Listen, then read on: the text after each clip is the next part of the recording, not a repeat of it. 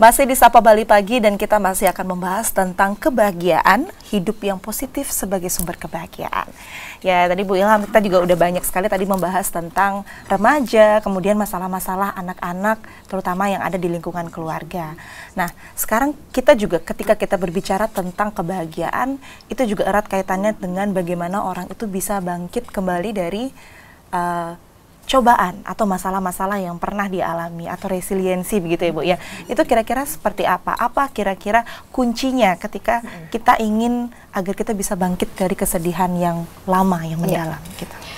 Uh, hal yang paling penting perlu kita sadari bahwa uh, persoalan itu pasti selalu datang ya. Bagaimana sekarang kita melihat permasalahan itu sendiri?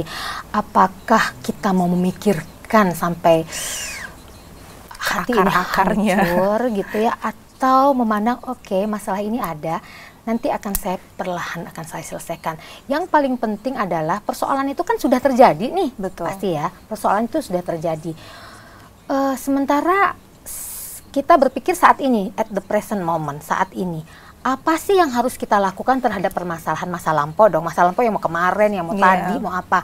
Yang sudah lewat yang gitu sudah ya? lewat. Itu yang sering kali hmm, mungkin pemilih pemilahan terhadap kondisi itu memang perlu dipelajari perlu dilatih. Perlu dilatih. Dilatih ya perlu dilatih bahwa oh oke okay, ada masalah. Kalau sekarang misalnya kita terus saja saat ini juga kita pikirkan besok kita pikirkan lagi dua hari kita pikirkan nggak akan bahagia-bahagia kita nggak akan bisa move on ya yeah. udah yang udah berlalu iya sudah masalah itu memang iya tapi bagaimana kita mengatasi kondisi masalah itu ada saya harus lebih uh, bisa berpikir secara real bahwa hidup ini harus tetap berjalan yeah. ya saya tidak mau uh, waktu habis untuk memikirkan hal itu tapi saya juga perlu memberikan uh, suatu kebahagiaan pada diri saya, apa yang saya harus lakukan? Oke, okay, saya akan telepon teman saya, misalnya uh, saya perlu ditemani ngopi mungkin, Baik. saya perlu berbicara, saya perlu ditemani lihat uh, uh, uh, apa ya kondisi di laut, mungkin di saya laut. perlu ditemani. Baik. Itu kan sadar, yeah, penuh yeah. kesadaran bahwa uh, ada hal yang mengganjal, namun perlu kita uh, lepaskan, lepaskan, perlu kita unek-unek uh, itu kita bisa keluarkan.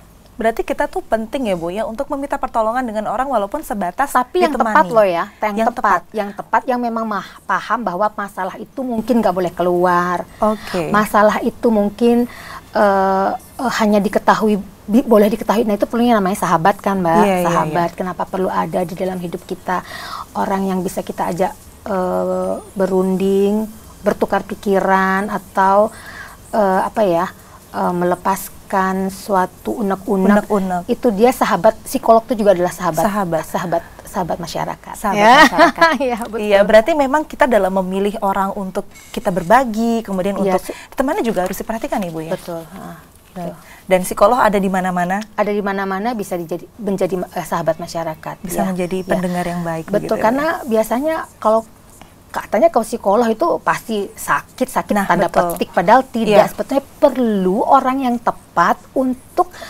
uh, mengungkapkan semua hal yang mungkin terjadi sehingga uh, jalan keluarnya juga sesuai yeah. apa uh, advice yang advice diberikan, yang juga. juga kemudian sesuai. masalah itu karena kita punya sumpah profesi ya betul. jadi masalah itu pun juga, juga tidak keluar nah, nah betul itu sekali. yang paling penting kalau mungkin teman yang yang baru-baru menjadi teman kemudian kita aja untuk bicara akhirnya akan melebar ke mana-mana tambah ribet lagi tambah ribet lagi itu yang biasanya ditakutkan ya, ya Bu ya itu yang biasa terjadi kan biasa terjadi hmm. sehingga kadang juga orang ah, aku takut cerita nih nah hmm. jadi dia akan semakin menyimpan kesedihan itu itu iya, juga ya Bu iya, ya iya. berarti memang kita harus Uh, bertemu Mem dengan profesional. Mem bukan hanya profesional, teman pun bisa teman, menjadi yang profesional orang ya, kita yang gitu ya? bisa mendengar.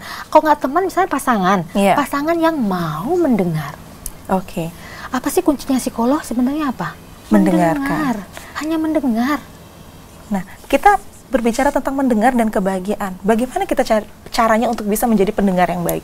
Karena susahnya di sana. Contoh, aku lagi sedih nih teman-teman. Tiba-tiba yang respon, ah kamu baru segitu loh. Aku lebih ramah nih, nih, nih. Uh. Akhirnya kebalik yang kebalik curhat, curhat, kebalik ya. yang curhat. Nah, Biasanya ya. kan seperti itu ya. Nah, nah, itu bagaimana cara kita untuk bisa menjadi pendengar yang baik sehingga kita bisa memberikan kebahagiaan juga atau berbahagia juga karena bisa berbagi dengan orang ya. itu seperti apa?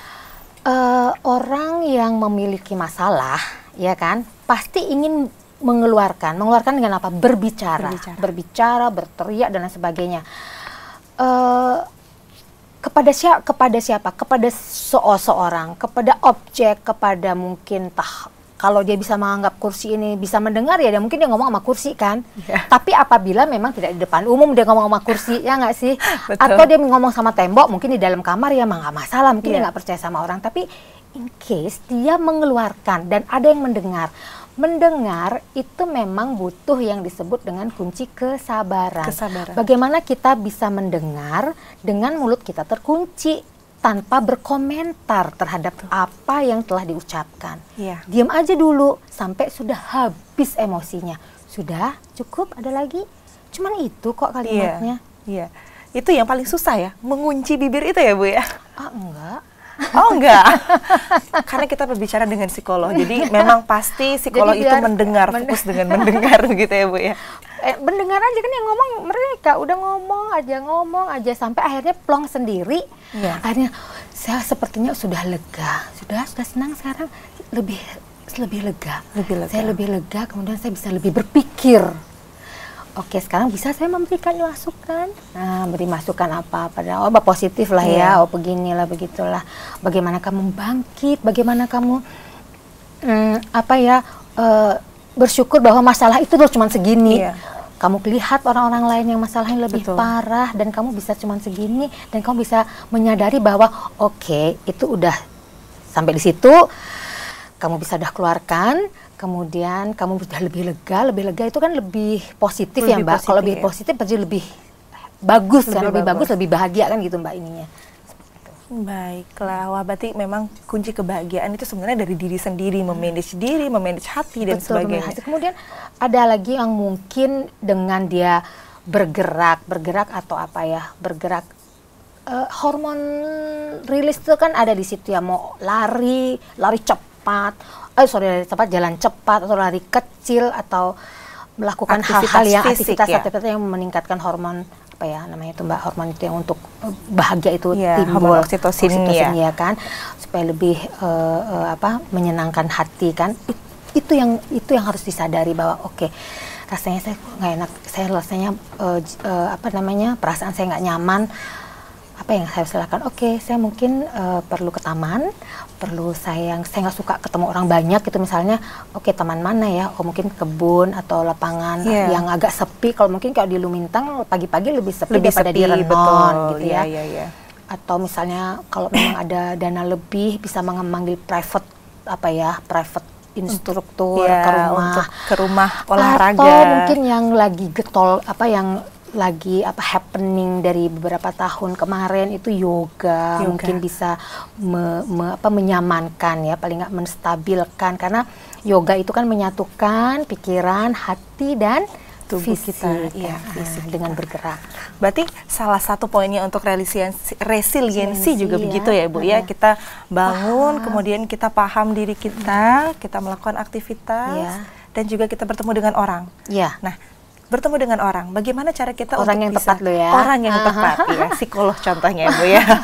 untuk membangun hubungan dengan orang lain juga salah satu yang hal yang penting untuk membangun kebahagiaan ya Bu ya. Uh, membangun kebahagiaan dengan menjalin hubungan dengan orang lain yang iya. tepat ya Mbak, yang tepat yang bisa memberikan support, motivasi pada saat kita kondisi uh, ter, terundung masalah ya. Jadi memberikan support-support positif uh, kita mungkin bisa melihat ya teman-teman mana sih yang kira-kira tidak memanfaatkan kita, yeah. tapi bisa memberikan uh, apa jalinan pertemanan yang luar biasa, yang yang lebih memberikan energi positif untuk yeah. bisa membangkitkan atau memberikan semangat kita untuk melepaskan diri dari persoalan-persoalan yang merundung. Iya. Jadi itu pun positif. kita ya, jadi itu pun kita seleksi kan, Mbak. Nggak perlu punya teman banyak, ya, tapi teman yang berkualitas itulah yang akan connecting iya. di dalam perjalanan kehidupan, perjalanan pertemanan itu akan akan terseleksi sendiri nih. Baik. Ya kan? Uh, apa ber, uh, apa namanya? istilahnya connecting itu apa ya energi ya energinya itu uh, akan mencari sendiri Mencari lah sendiri. ya. Ah, ah, alam akan mencari sendiri. Oh ini cocok memang dengan ini ya. Kalau memang mungkin dari bicaranya, dari Betul. dari klik aja, Kliknya, ya, hobi dari yang sama dan sama, sebagainya. ya. Oke. Belum tentu hobinya sama Mbak, tapi bagaimana saling menerima. Saling Teman itu kan menerima. harus menerima, Oh iya, menerima betul, ya. Pada saat dia sedih kita nggak curhat lagi dong, Iya. tapi mendengarkan. Berarti Ah. kuantitas itu tidak lebih baik dari kualitas betul dalam betul pertemanan Ibu Nah, ya. apa pun kayaknya gitu deh ya, Apa pun ya kualitas itu lebih baik pasti Sama ya. seperti kita kalau belanja juga ya Bu ya. iya. Ya berarti memang tentunya kalau kita ingin membangun hubungan positif dengan orang juga bagus banget kata-kata dari Ibu Ilham tadi. Kita tidak usah khawatir kalau misalkan lingkungan pertemanan kita semakin sedikit mengerucut, mengerucut dan nah, sebagainya karena mengerucut. memang uh, itu yang akan terseleksi sendiri Iya, begitu ya iya. Bu ya. Berarti memang kita juga harus Gelombang membutuhkan itu pasti mencari. Iya. Kemudian kalau kita bandingkan dengan keluarga pastinya ya Bu ya, ketika kita dekat dengan keluarga juga akan lebih mudah kita untuk bisa bersosialisasi karena dengan kita kan kembali luar. lagi keluarga. Sekarang keluarga kalau misalnya masih remaja ya keluarga adalah orang tua, Iya. adik, kemudian mungkin nenek, kakek ya Betul. yang bisa dijadikan eh, tumpuan cer- eh, apa? tumpuan obrolan, rilis dan lain Iya. sebagainya. Kalau memang sudah menikah ya eh, suami yang bisa Suami mensupport ya, suami, anak, Baik. saudara ya. Berarti memang uh, menjalin hubungan dengan orang lain termasuk keluarga untuk mencari motivasi. Iya. Nanti kita akan bahas bagaimana kita memotivasi orang lain dan memotivasi diri sendiri. Namun setelah yang satu ini, ya saudara setelah ini kita akan masih membahas tentang motivasi dan kebahagiaan. Untuk itu jangan ke mana-mana tetap di Sapa Bali Pagi.